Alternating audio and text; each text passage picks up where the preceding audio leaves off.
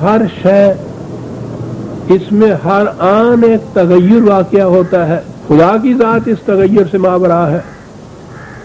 अब ये अलाए रब कुमा, आपने ये भी गौर फरमाया कि ये जितनी दफ़ा आता है, अब ये अला इसमें रब का ही ज़िक्र आता है। रब कुमा ही आता है। और सिफात खुदाबंदी भी तो थी। वो क्यों नहीं आई? बदल बदल के क्यों नहीं आई? इसलिए कि ये सारी बात ही रबूबियत की हो रही है। सारा मौजू ही नशो नुमा का है। रहमानियत की सिफती नशो नुमा की है।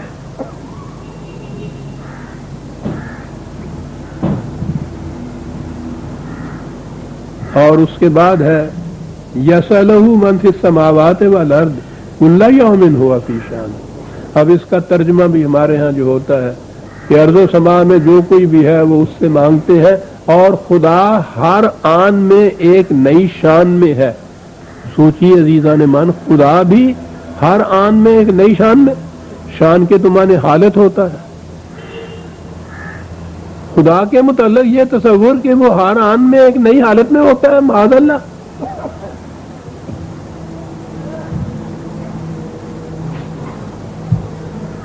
ये शून खुदाबंदी तो ये मज़ाहर है उसके। उसकी तखलीक के।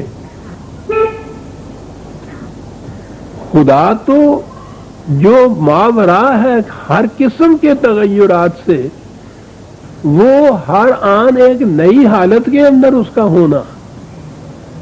ये तस्वुर ही नहीं खुदा के मुतल उसमें तो कोई तब्दीली आ ही नहीं सकती।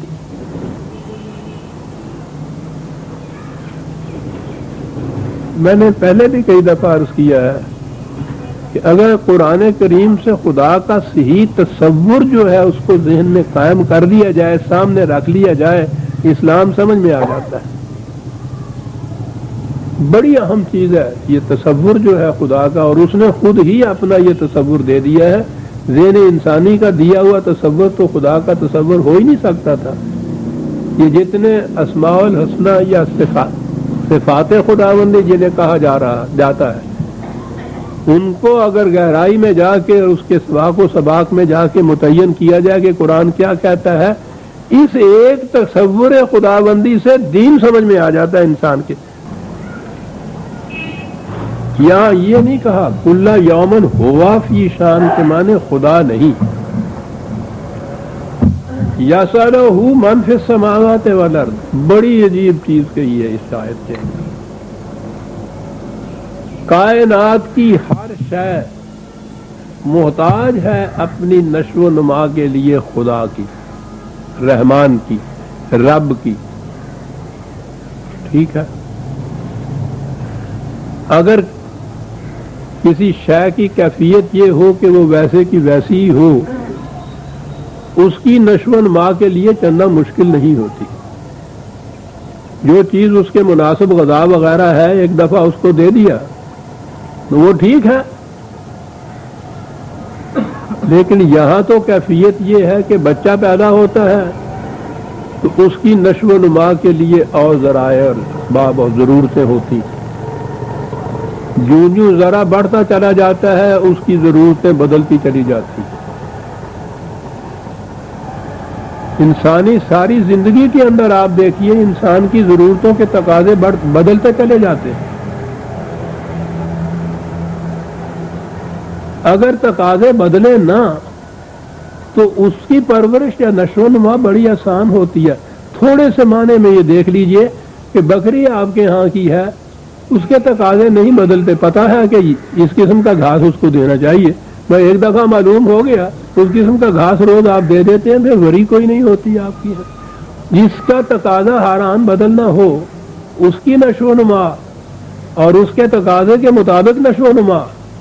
ये है नशोनुमा जिसे कहते हैं। सुनिए क्या कहा है। कहा है कि कायनात की हर शय उसके मोहताज है, उसकी नशोनुमा की। और हर शय की कैफियत यह है कि हर आन उसका तकाजा बदल जाता है। और ये हुआ फ़ी शान के माने कायनात की हर शय या सलहू जहाँ कहा है। मोहताज है कायनात की हर शय नशो नुमा के लिए खुदा की। और हर की नशो नुमा की कैफियत ये है कि वो हर आन उसकी नशो नुमा का तकाजा बदल जाता है। तो कहा सोचो इस किस्म का नश्व नुमा देने वाला कौन सी वो हस्ती होगी? और ये हर शय जब कहा तो ये कायनात तो लामहदूद है। हमारे सामने तो यू ही एक कोई शहर या एक ज़्यादा से ज़्यादा मुल्क होता है, या कुर्रा अर्जी कह लीजिए। ये कुर्रा अर्ज़ तो इस कायनात के अंदर एक रेत के जर्रे की बराबर भी हैसियत नहीं रखता। यहाँ मनफी समावात वाला अर्थ कहा तुम ही नहीं। ये फजा के फजाई कुर्रों के अंदर, कायनात की वसतों के अंदर, मन, जो कुछ भी है, वो सब अपनी परवरिश, नशोनुमा, बका, हस्ती के लिए खुदा का मोहताज है, रब का मोहताज है। और हर शय की कैफियत यह है कि हर आन उसका तकाजा बदलता जाता है। और वो उसके तकाजे के मुताबिक सामान्य नशो नुमात दिए चला जा रहा है। अजीब बात है इन अरबों की, फिर बात आ गई। रिजक जिसको हम कहते हैं कि रिजक मिलता है, रिजक की शर्त यह है कि वो वक्त पर मिले और तकाजे के मुताबिक मिले, जब रिजक कहलाता है वो। और वो राजिक है और रजाक है वो। कुल्ला यामिन हो अपीशान हर आन उसका तकाजा मुख्तलिफ़ होता है। दोहराया तो मैंने पहले भी कई दफ़ा, लेकिन यहाँ वो बात आ गई तकाजा के बदलने की। रोज़मर्रा का हमारा मुशाहिदा है। है, अब जरा मुश्किल से ही कहना पड़ता है। मुशाहिदा था कि ये, अब तो दूध डिब्बों का होता है। माँ का तो दूध बच्चे को मिलता ही नहीं है। बच्चा पैदा होता है, हजम की कुवत बहुत कम होती है उसमें। माँ का दूध, उसमें शायद नब्बे फ़ीसद पानी होता है, कोई दस फ़ीसद ही अज्जा होते हैं ऐसे। जो हजम करने के लिए होते हैं।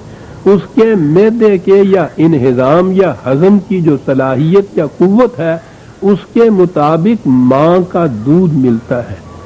बच्चे की पैदाइश से एक दिन पहले तक वहाँ कोई दूध का चश्मा तो सुराग भी नहीं होता। उधर से बच्चा पैदा होता है, उधर से उसके रिजक की रवानियाँ शुरू हो जाती हैं। कौन करता है ये अंदर बैठा हुआ जिसम ये आपको मालूम है कि गवालों से जब आप पूछते हैं कि यार तो कल दूध तेरा चंगा जे आंदा है सी। अज मेरा पानी जे कहना कि नवी सूई हुई, मैं ही है ना इस वास्ते। भावे नलके का ही नाम ही होवे। लेकिन ये बात है, जिन्होंने मवेशी पाले हैं, उनको पता है कि सज्जर सुई हुई जड़ी है। यानी उसके दूध में दोहनीत जो है वो इतनी कम होती है माइत जो है, पानी जो है वो इतना ज़्यादा होता है। वो वो कायदा मुकर किया हुआ है फितरत का कि बच्चे का क्या हाजमा उसका मैदा इससे ज़्यादा हजम नहीं कर सकता, अंदर से बने, बनाया हुआ इस किस्म का दूध जो है वो मिलता है उस बच्चे को। ये जो डिब्बों का दूध मिलता है ना आपका, डिब्बे के ऊपर लिखा हुआ होता है कि ये इतने वीक का बच्चा जो है, उसमें इतना चमचे, ये दूध का, इतना चमचे पानी का। बढ़ता चला जाता है, जू जू तो देखिएगा वो जो टेबल होती है, उसके बाद लिखी हुई, उसमें ये होता है, इतना चमचा ज़्यादा बढ़ा दो, पानी इतना कम कर दो। ये सारा पैमाना उन्होंने माँ के दूध से लिया हुआ है। वहाँ कोई अंदर है जो ये पैमाने मुकर कर रहा है नशवन माँ के। जू जू बच्चा बढ़ता चला जाता है, माँ का अपना दूध गाढ़ा होता चला जाता है। वो कौन ये करता है? किस अंदाजे से ये वो करता है? वो कि जो तगैर ना आशना है। अगर वो भी साथ बदलता चला जाए तो ये सिलसिला सारा खत्म हो जाए। वो एक तगैर नाशना जो नाजिम है वहाँ जो कादिर है इन चीज़ों के ऊपर। मालूम नहीं उसका इंतज़ाम किया है, अभी तो ये बात ही समझ में नहीं आई कि ये दूध का आखिर चलते चलते दो साल के बाद बच्चे का दूध, मवेशी का दूध इतना गाढ़ा हो जाता है मुश्किल हो जाती है। जब इस मकाम पे पहुँचता है तो बच्चा खाने पीने लग जाता है।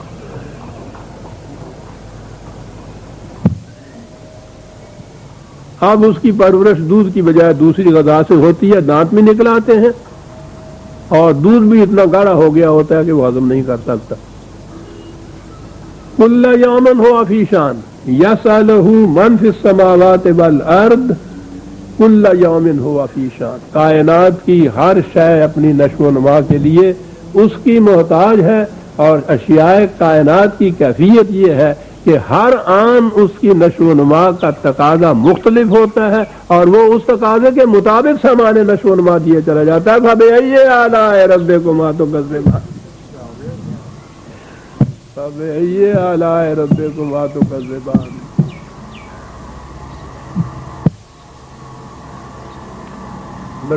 अज़ीज़ ਅਸੀਂ ज़्यादा से ज़्यादा बस रहा नाल कुरान पढ़ने वाले हैं। गा के कुरान पढ़ लिया तो हमने भी वैद में आ गए। उनसे पूछिए कि यहाँ पहुँचने के बाद जो उसने कहा है, उन लोगों ने यसाला हूँ मन फिर समावात कुल्ला यामिन हुआ फ़ी शान, और उसके बाद जो कहा है तब ये अला रब को मातबान उन लोगों से पूछिए जो रिसर्च कर रहे हैं कि किस मुकाम पे कह दिया खुदा ने इस बात को यहाँ जो रब को माँ कहा है, रब यहाँ जो कहा है आके आप सोचिए कि क्या जचता है उसकी शान के लिए रब होना।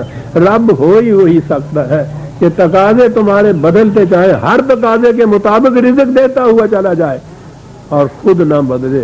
तुम बदलते चले जाओ, तुम्हारे तकाजे बदलते चले जाए और उसके मुताबिक वो सामान्य नशोनमा दिए चला जाए। अब ये अला है रजे तुम तो तर्जुमान वक्त हो गया अजीजा ने मन। सूर्य रहमान की आयत तीस तक ही हम आए। क्योंकि अहम मुकाम आया था, मैंने समझा मैंने समझा कि कोई बात नहीं आए तो का। आगे फिर चलेंगे हम तो और बात आ जाएगी। रब बना तकबल मिलना इन अंतर समी